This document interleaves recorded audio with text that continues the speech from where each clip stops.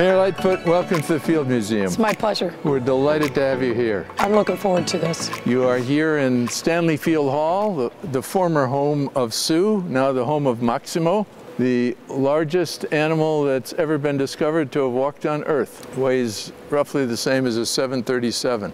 Wow, It's an amazing specimen. it's beautiful. We've got 150, 170 scientists at work here when we're open.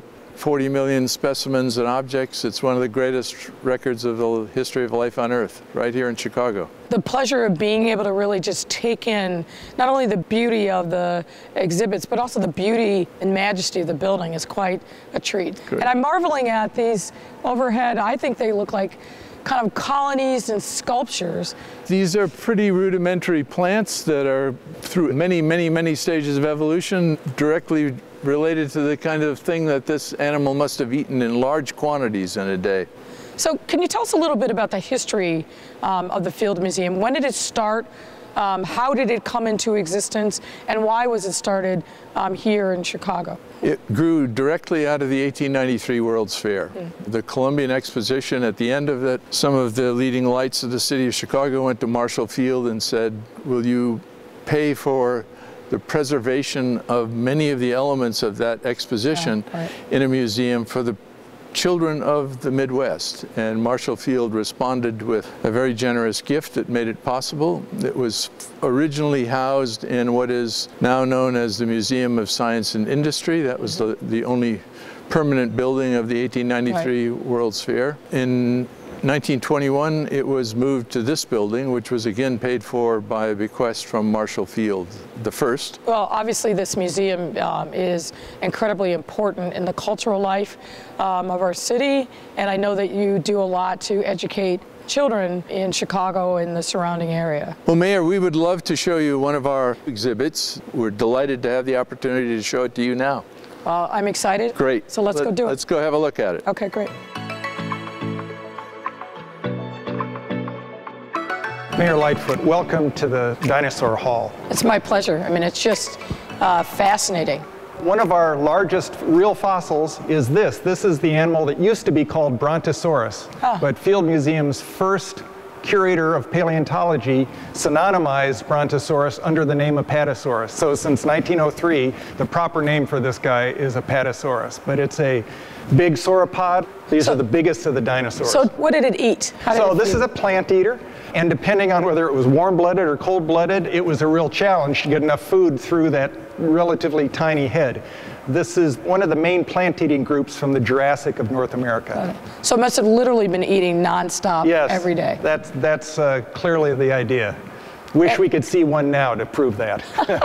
And how big do they get? Is this kind of typical of what we theorize as the size? Yeah, this is a pretty good size. From some of the bones, though, for example, you can see the shoulder blade, which is two bones. It's still in Yeah. two bones, so they haven't fused together, which would, is what happens in the older adults. But this animal is about 75 feet long, would have weighed something like 40 tons in Wow. life. They were big animals. I'm noticing here um, there's a display on, on plants. And Yeah. I'm a gardener, so tell me a little bit about why uh, the plants are here among all these dinosaurs. Well, you know, we try and put the animals in their um, environment, which includes plants, of Yeah. course.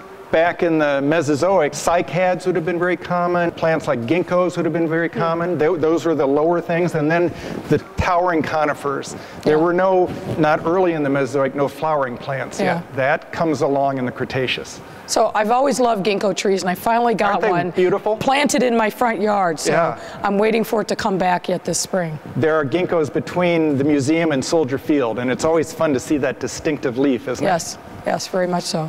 So shall we move on? Yeah, let's take a little stroll down here. Mayor, this is a tyrannosaur. It's not T-Rex, it's an earlier, ah. smaller animal called Daspletosaurus. It's from Alberta, Canada, and was collected in the 1920s. And it is looming over its victim, which is a duckbill dinosaur.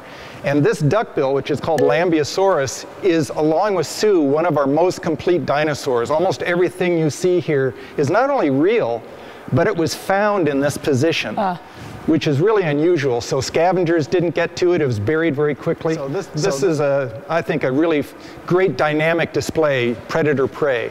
So this is essentially a smaller version of the T-Rex. You see the large head with the big teeth. Absolutely. And then you see, but you see the shorter um, arms. Absolutely. The little two-fingered arms that we still haven't figured out a purpose for. Yeah, it's like, you know, any family. For example, the cat family. We've got little house cats and Siberian tigers. Yeah. So. Right. So tell me about this guy. Yeah, so this is one of the end members of the horned dinosaur family. We've got one of the earliest ones here, Protoceratops. That's from the Gobi Desert of Mongolia. But at the very end, this is what Sue had to fight off and prey upon. Triceratops is one of the last dinosaurs, along with T-Rex, to be alive until the asteroid hits and we've got that big extinction at 66 million years ago. Did meat-eating um, dinosaurs exist at the same time as plant-eating dinosaurs? Yes, often in an evolutionary lineage you'll see meat eaters first and then the plant eaters will, will evolve soon after. But yes, through most of the history of dinosaurs there have been both types.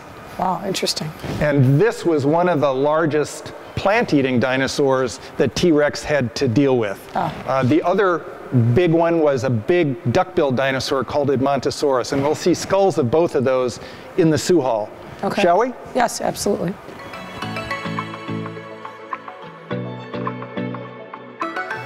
Mayor Lightfoot, we're now in the Sue Hall. When we first put Sue together and unveiled it in 2000, it was in the big main hall. Right. But we couldn't really put it in context there. It was, it was just another pretty face. We wanted to build an exhibit hall around it, and that's what this is all about. Mm -hmm. So we took the whole skeleton apart. It's made to be taken apart so it can be studied, mm -hmm. and moved it up here. We made some improvements because we know, know more about T-Rex than we did before. Probably the biggest change in the mount is these structures in the belly that look sort of like ribs. They're sometimes yes. referred to as belly ribs. The technical term is gastralia. We always had those, but we weren't exactly sure how they went together on this animal, so we were able to put the gastralia on it, and now Sue has this big belly. It looks a lot more massive than it did in Stanley Field Hall. So you obviously learned a lot about the T-Rex over time. Absolutely. Over those 20 years, we know a lot more about this animal than we did when we mounted it the first time. So can you give us a few of the, uh, the insights that um, paleontologists have learned since Sue was discovered and then was uh, first put on display 20 years ago. So it gave us the opportunity to sample a few bones that we hadn't been able to before. Mm -hmm. Dinosaurs, like trees, stop growing for a season during every year. Oh. And so, like trees, they leave rings. We oh. call them lines of arrested growth, not tree rings, obviously. Mm -hmm. You just count those rings and you get an idea of how old the oh. animal was. We now think Sue is closer to 33 years old when it died rather than 28. So that's some of the new science that's come about since we took Sue down and moved it up here. It's fascinating. So this is not the actual head that was found. no, the actual head never gets on the end of the neck because it's the most studied part of the skeleton and it's just too hard to study 13 feet up in the air. So that's a plastic cast. You saw that the skull was a bit distorted. Any bone that big when it gets buried and then the sediment compacted into mm -hmm. rock gets distorted. So what we did was we took the, basically molded the skull and then made casts and took the casts apart, cut it apart and put it back together, removing as much of the distortion as we could. And so we think that's what Sue's skull would have looked like when it was not crushed as it is now. So one of the things that I think uh, people forget is that the Field Museum is a working laboratory. Scientists and paleontologists come here to study the various specimens and exhibits. Is that right? There's a cutting edge research institution behind the scenes here. And in fact, my collection, the vertebrate paleontology collection, is pretty representative of all the collections throughout the building. Less than one half of 1% of my collection is on display. There is a huge collection and research being done all the time on that collection. We're going out into the field multiple times every year to learn new things, discover new animals in this case. We are a big research institution as well as an exhibit museum. And that's true of the original Sue head. It's built in a display that can pull out out so that scientists can actually get a closer look at the actual Absolutely, head itself. yeah. Our exhibits folks are so good. They understand that these fossils, while they're on display, are still part of the research collection, and they need researchers need access. Do we know anything about the other dinosaurs that were like this? What can you tell us about how they were arranged? Were they families, tribes? What's what's yeah, the word so for it? so like any organism, they're arranged in a hierarchical taxonomy classification. T-Rex, Tyrannosaurus rex, belongs to the family that's named for it, the Tyrannosauridae. And there are many other tyrannosaurs besides T-Rex. Mm-hmm. T-Rex just happens to be the last one and the biggest one. They're a family that started in Asia and then migrated to North America and attained gigantic size. This is from an, a group of dinosaurs called Coelurosaurs, which means hollow bone. Oh. And most of them are about this big or even smaller. Every bird that's ever lived is a Coelurosaur, but there was one group that got gigantic, and that's the Tyrannosaurs. You said that they started in Asia and then it came to North America. The world looked different then than it does now, obviously. It did, although by the time T. rex was alive, you'd recognize it. It wasn't so different, but the farther back in time you go, yes, the continents move, and at one point they were all in one landmass called Pangaea. But the end of the Cretaceous, 66 million years ago, you'd recognize that world. All right. And you mentioned birds. Now we think about the the theory that the asteroid came and hit and killed the dinosaurs in one way or another. But they weren't all extinct as a result of that. No, What- we always talk about the dinosaurs going extinct, but in fact, every bird that's ever lived is a theropod dinosaur, just like Sue. Not all of them went extinct at the end of the Cretaceous. The non flying dinosaurs, yes, they went extinct, but the birds made it through and had a big adaptive radiation. And there are over 10,000 dinosaurs alive today. Every time we sit down at our Thanksgiving dinner, we're having a theropod dinosaur. So the birds that we see today that are flying in the air, chickens, turkeys, those Every are of them. all descendants of dinosaurs in the same family line. Every one of them are. Coelurosaur dinosaurs, just like the Tyrannosaurs Wow. are Coelurosaur dinosaurs, yes. Fascinating. And you know, we think of the age of mammals. After the dinosaurs died out, then mammals had their big shot. Well, there are, I don't know, some 6,000 species of mammals alive, so there are still more dinosaurs alive now than mammals.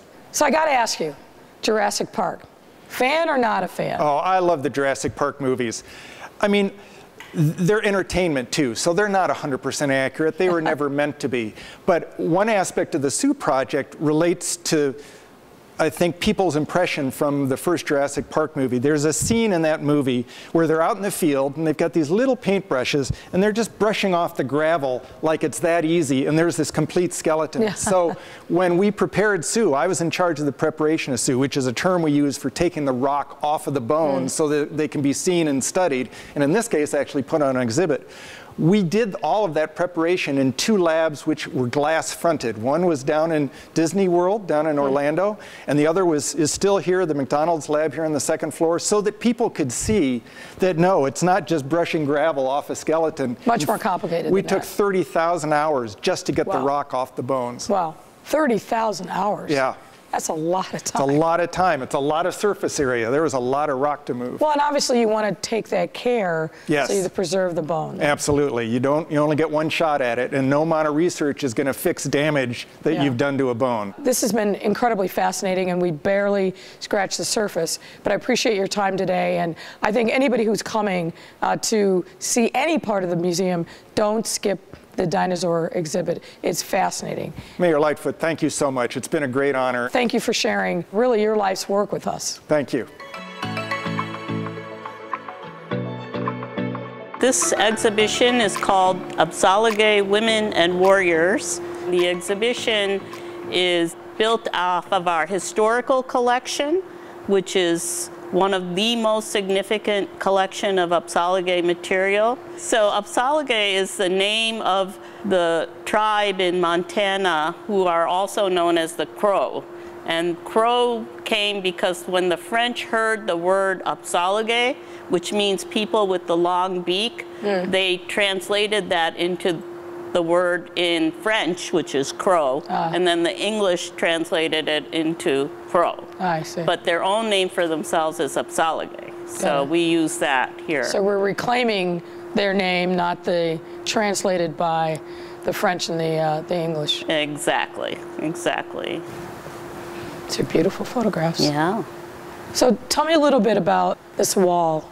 Sure. These are photographs taken by Adam Sings in the Timber, who lived here in Chicago for many years. He was raised on the Apsáalooke Reservation. He's an amazing photographer. What we wanted to capture in this exhibit is both the sort of continuity across generations and the important role that women play in Apsáalooke society. Mm-hmm. And so you're seeing women of all ages here. Mm-hmm. You're seeing wisdom keepers, culture bearers, people who have doctorates are contributing back to their people. So the idea is like in this very vibrant way to bring the story of the past together with the present. Now, this exhibit was curated by a woman who herself is Apsáalooke, yes? Right. Her name is Nina Sanders. It's a first major exhibition at the Field Museum curated by a Native American woman. This was her vision that she put together with the help of many scholars and Crow community leaders, Apsáalooke community leaders. She invited over 20 contemporary Apsáalooke artists to also contribute their work to the exhibit. So behind you is a piece by Ben Pease, who's a very well-known Apsáalooke artist. Apsáalooke people have a different view of gender, you know, that it's not about this is the man, this is the woman. There's a lot more fluidity hmm. to the way they think about hmm. gender. You can see this in the, in the photographs. These are women are clearly all very strong and powerful, and there's a confidence that I see in each of the photographs, regardless of the age. Yeah. Now, my understanding is that um, there's about 65,000 um, Native Americans that live just in Chicago, the second largest kind of urban population in the country. Is that That- right? That's right, in the whole Chicago Area. land region, exactly. Native peoples were here, were always here. Well, I hope that we'll be telling those stories as a regular part of the curriculum eh, within CPS, but also in other schools across the city. Knowing our history and every every facet of it is critically important. One of the things that is really resonating with me is the power of community. Mm-hmm. How each member of community is important, is uplifted, and plays a really special role, not only in the present, but in carrying forward the traditions um, of that um, Native community and how we can take, uh, I think, really heart from that today. You, you said it yourself. We're socially distancing, um, but we can't lose our sense of community and who we are as a people. That's what I keep thinking as I'm walking through uh, this exhibition. You said it beautifully. Couldn't say it any better than Oh, that. thank you. That's Thank really you. wonderful.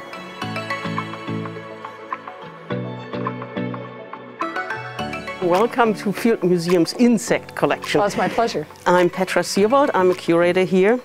How'd you get interested in insects? Because there are so many species, it's Right. unbelievable. 400,000 described beetle species.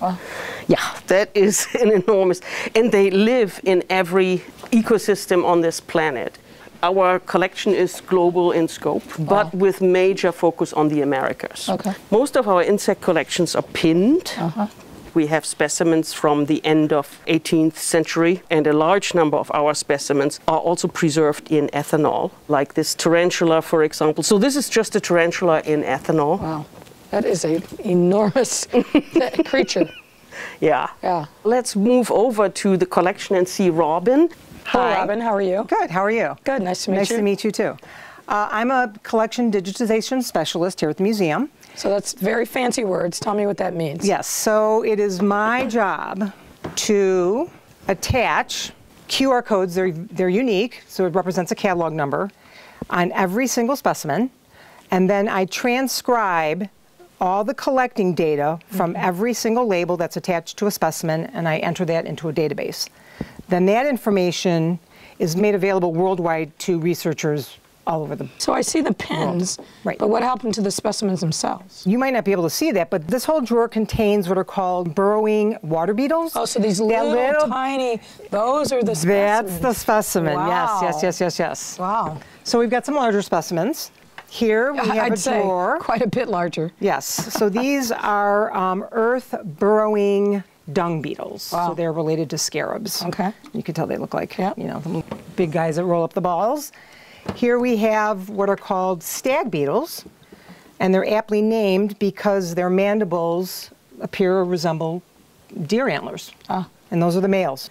We actually have a drawer of some much larger stags.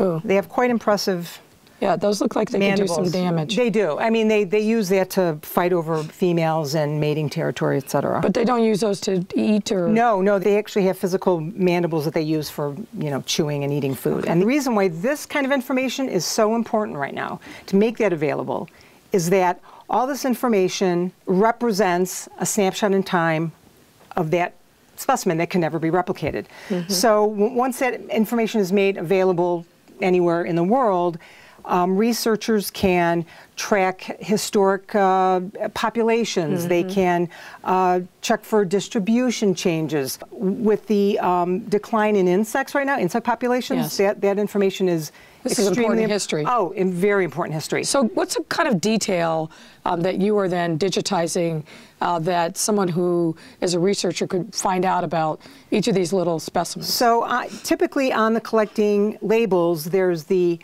the who, the where, the how, and the when. So you get, it might say, well, in this case, it says uh, Florida, Alachua County, Paynes Prairie near Gainesville, and it was collected in August 21st, 1961. And it was collected by FN, which is Frank N. Young. He was a aquatic beetle specialist. So, I'm going to tell you, you have clearly fantastic eyesight because that just looks like a blur. Oh, of, yeah, uh, yeah, yeah. Without No, my glasses, it just looks like a blur of letters. I do end up using the microscope at least once or twice a day. I have to examine the labels very closely, and and it's it's a wonderful thing when they're pre-printed like this. But I get a lot of handwritten labels. They're cryptic. They might be from Europe. I can't read them. It's yeah, it's a tough it's a tough job. Fascinating. so just to, to step back and you think about, you know, I mean, young uh, students who may be watching this, uh, what's the most important thing that you hope that they learn about the work that you do every day? what I think is so relevant about the work that I do is that these collections have sat on shelves for decades, collecting dust. And there has been a huge movement, probably in the last decade or less, where all the cultural institutions worldwide have realized the relevance of this information and that we can share it and we can make it accessible. And is that because these insect populations are, are disappearing Yes, absolutely. Yes, yes. Insects in general play a huge role in the success of our existence. I mean, we people don't realize how important they, they are. So there may be some people who are watching this and think, ugh, I don't like insects. Ick factor, huh? But, yeah. but, but they're important. They're I can't even begin to explain how important they are. They We wouldn't have beautiful flowers. we wouldn't we wouldn't have insects. flowers. We wouldn't have what two thirds of our crops. We, they're pollinated by you know bees and and other types of uh, pollinators. Um, they make our silk. They are excellent. Um, recyclers. They put nutrients back into the soil. They they uh, are scavengers. If, if it wasn't for let's say the dung beetle or beetles that eat carrion, rotting you know carcasses, we would be standing. I've read this knee deep in. Yeah. You know what? Unmentionables. Um, unmentionables. There you go. Insects make the world go round. They do. They absolutely do. Absolutely. Yeah. Well, thank you very much Well for sharing said. your time Mhm. with us. Yep. Thank you. Appreciate it. Great meeting you. Good to meet you.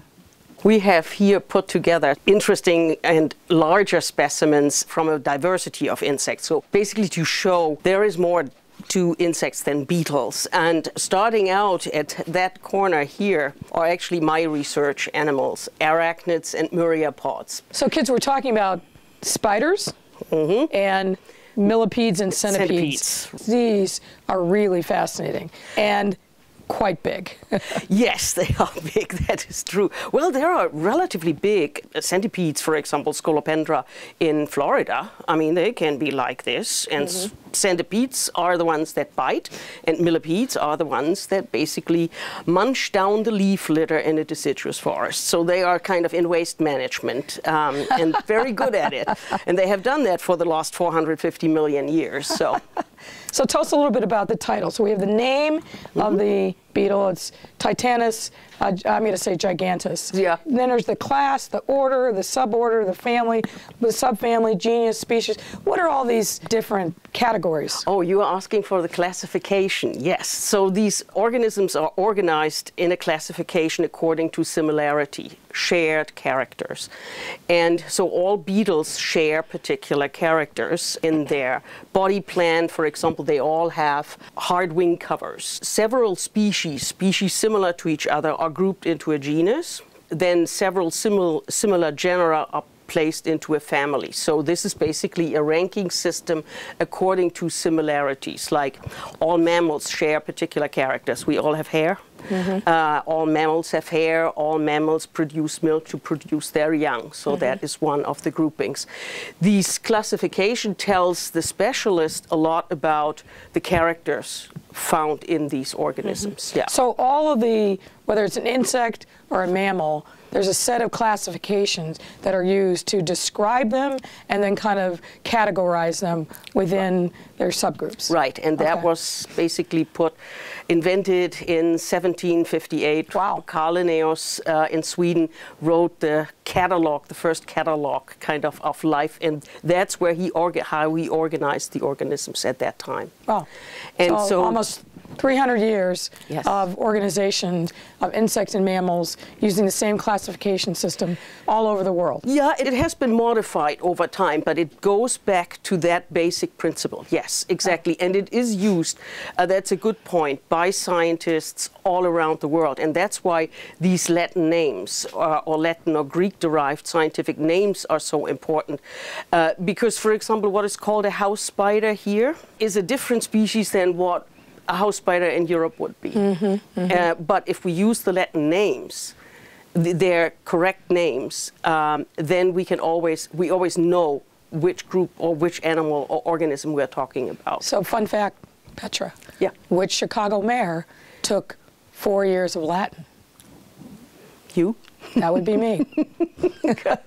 yes, I'm a Latin nerd.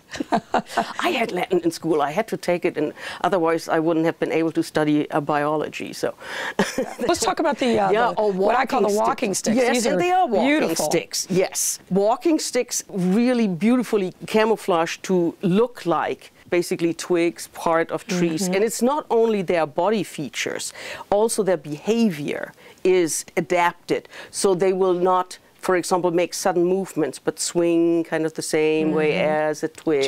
yeah. And these spines and tubercles basically disrupt the body image. So if it sits on a lichen-covered tree trunk, you, you couldn't tell. You can't. Yeah, wow. it's really hard to tell.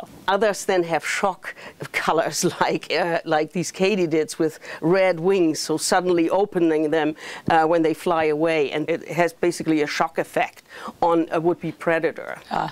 Uh, that's how some of the butterflies and moths also operate with these colorations are thought, or these patterns here on these moths. These are moths and butterflies from Illinois, are thought to basically look like eyes. Mm -hmm. And when they mm-hmm. open them, a would-be predator, like a bird, is suddenly startled and will not necessarily pick at it. Well, you can see on some of these moths, there's four looks eyes, two sets. Yeah. yeah. I find all of them fascinating. I like the different colors. I like the different ways in which they adapt um, their bodies to their environment to ward off predators. So to me, it's all very interesting. The beetles I could probably do a little bit without, but sorry, Petra. Tell me, how long have you worked here at the museum? Since 1996. Wow, long time. Yeah a long time. time. Thank you for sharing your life's work with Thank us. Thank you very much for no, coming. It's a pleasure. It's nice meeting you. Nice to meet you as well.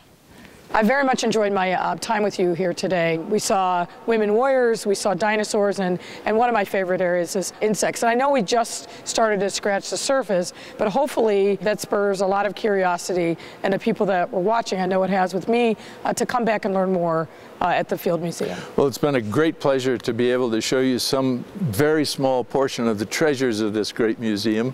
And we do hope that you come back as well. I definitely will. Great. Thanks you. for being here. My pleasure.